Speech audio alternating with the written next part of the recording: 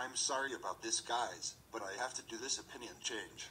I'm starting to be neutral to Rainbow Kitty 101 for now. Why? Because she closed her account three times just to avoid.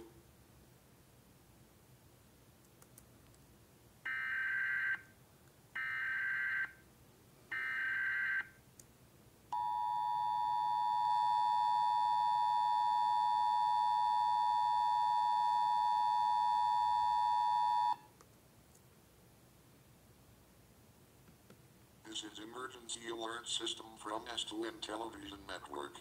This is only a test. And this time, according to Fox News, China is America's number one threat, made Betas, quote, national security analyst. Rebecca Grant says the CCP's goal is to denounce the West. National security analyst Rebecca Grant warned that China is America's number one threat in the wake of the recent high altitude objects detected throughout North America. China has made so much propaganda over the balloon from last week, Grant told Fox News host Lawrence Jones. Their newspapers, which are all run by the Communist Party, have spent the last couple days calling Biden a coward, saying the U.S. is making too much of this, mocking the U.S. for shooting down a balloon with an F-22. China mocks Biden for knocking down balloons with fighter jets, hysterical, question mark laughably juvenile.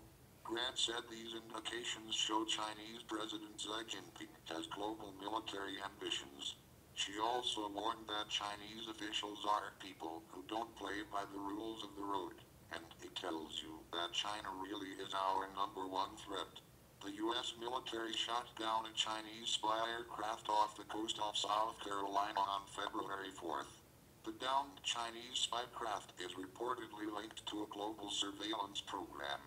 Grant called President Biden's attitude toward China perplexing and said it makes no sense why he is not speaking out more strongly against its government.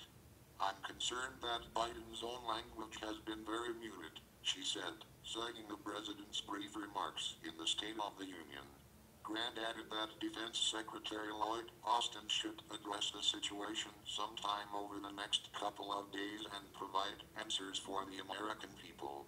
The Chinese Communist Party runs all of this, and their goal is to denounce the West. They hate the West. They hate the U.S. for all those things that happened in the 19th century, and that's just who they are, she said. These are communists and this is what they believe. With Xi Jinping in this powerful position, which has third term underway, all the gloves are off, she continued.